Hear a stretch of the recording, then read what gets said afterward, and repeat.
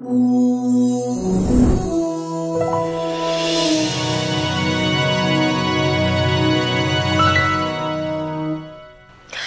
to Wake Up America. I am Paula Cassell.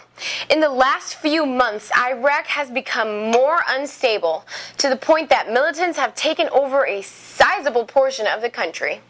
The war in Iraq seems to be all for naught as we have taken a stable nation and turned it into a worn, torn wreck that could soon be under the rule of Al Qaeda backed rulers. For the sake of our nation, we should be very careful how we proceed. Up next is an update on the war.